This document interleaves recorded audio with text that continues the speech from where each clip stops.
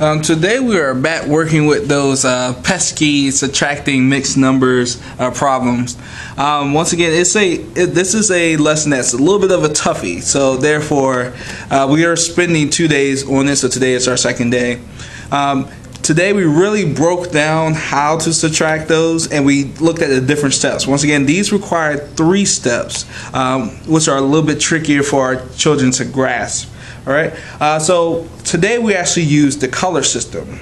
Um, we have our regular black one or pencil if they want. Um, that's going to be to write down the original problem, as you can see here. Our red pencil, uh, red marker or color pencil, whatever they use, um, is going to be to change or rename the fractions, which you'll see in a second. Then your blue one is going to be the regrouping one. Alright, so first of all, we already wrote down our problem. We have 5 and 1 fourth minus 2 and 5 six. Off to the side, we're going to find our LCM. Uh, so we look over here, we write down our uh, multiples of 6 and 4.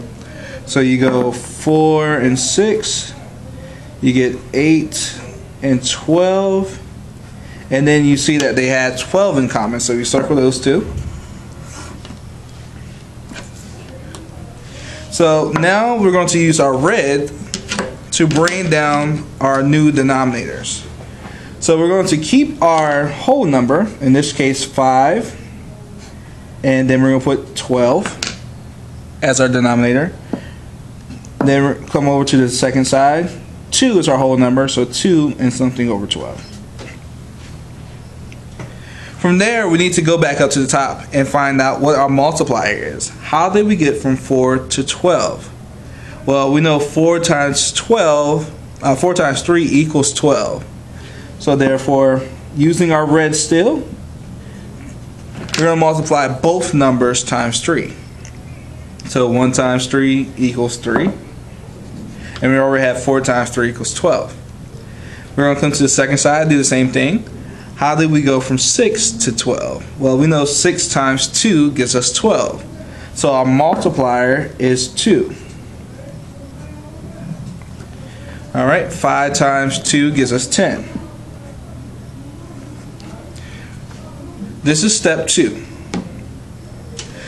So now the next part that we have to do is we have to look at our fractions of the mixed numbers. So I asked the children to circle which fraction is bigger. So with our blue marker or pen or color pencil, we're looking at just the fractions. So I have 3 fifths, uh, sorry, 3 twelfths and 10 twelfths. We know that 10 twelfths is bigger than 3 twelfths. So if our second fraction is bigger, that means we have to regroup. If our first fraction were circled, we can just subtract from here. So now we have to regroup. So we're going to borrow a whole. So we're going to cross out our 5. This now becomes a 4. And we have to bring over a whole. So we look at our denominator. What equals one whole with a denominator of 12? 12 twelfths is the same thing as one whole.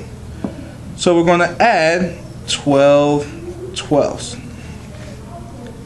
So our new denominator now, 13 twelfths plus 12 twelfths, gives us 15 twelfths. We want it to be improper, um, so we can make it so it can be a larger one. It's just the same thing as if we have a regular subtraction problem and you borrow from the tens place. It's the exact same thing. Okay. So now we're going to rewrite our problem again in blue with the few changes that we already did. So now we have 15 twelfths and 10 twelfths. We know 15 minus 10 equals 5. So we're going to put 5 twelfths here. And then we have 4 minus 2, which equals 2. So our answer is 2 and 5 twelfths.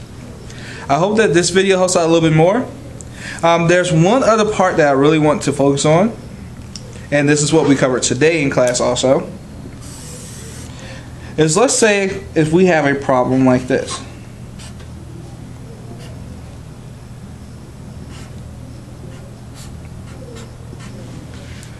Five minus one and one fourth.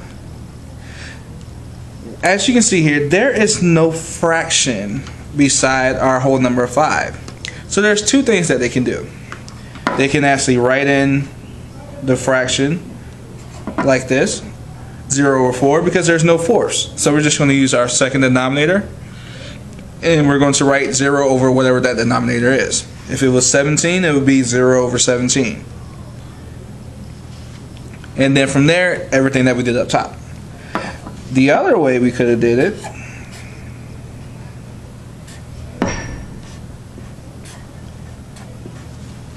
is if we actually just borrow a whole already. Because essentially you're going to do the same thing anyway. So we're going to make this 4, and then we're going to bring 4 fourths